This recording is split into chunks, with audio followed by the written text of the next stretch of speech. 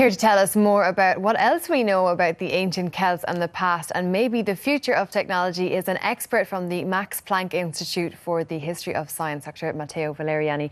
Dr. Valleriani, thank you very much for joining us. Now, as we saw in that report, it showed us how Celts were actually a lot more highly developed than we had originally believed. But why is it that developing a calendar is so significant to science and technology? Well, calendars are the expression for the need uh, to find out in nature uh, regularities because on the basis of such regularities, natural regularities, natural phenomena, regular phenomena, you can uh, organize a group or an, one group can organize it itself, uh, a society, a group, and especially can organize the resources that the group needs to survive over time, uh, like um, like in reference to the agriculture, which is the basic uh, connection between calendars and uh, human activities uh, over millennia. So essentially, what you're saying is that it's important then for humans to know where they are or what, how to arrange themselves. It's, it's an important psychological part of uh, what we have to organize.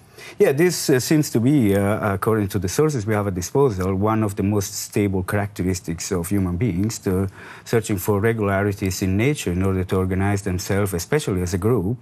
And in this sense, uh, uh we have the emergence of scientific thinking already in antiquity, exactly because of these reasons. So I would very much link these uh, developments to these sort of uh, material needs. Okay, so we're creatures of habits and we need to know what time it is. Uh, what about um, how they kept track of time? Exactly. Do they have watches? They didn't have watches, they didn't have calendars. So uh, No, not in the sense that we have them. They had way of uh, keeping the times and record the uh, calendaric uh, uh, major events at least. The mostly we have from antiquity is our records in textual forms. Um, uh, in very different languages, uh, starting from the Babylonians, the Greeks, the Egyptians, and uh, or in other forms that we now consider archaeological findings. Uh, this is the typical way of keeping uh, of keeping a system that allows you then to recalculate the time or to foresee certain events uh, when you need it so to speak. So these calendars are not just like graphic illustrations uh, like we have nowadays. They are also systems, like uh, machines to calculate at the same time. Okay. So, so different um, methods of calculating the time, different perceptions of time as well. If I was late back in the day, then would I be?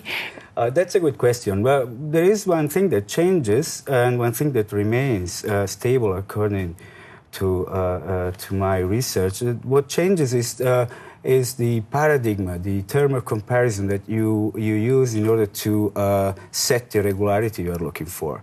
Uh, so astronomy has been has been the uh, always this uh, the term of comparison because of the apparent regularities of the stars called fixed stars or the, of the movement of the planets. Nowadays we look in the nuclear physics and we we look there for more regular natural phenomena.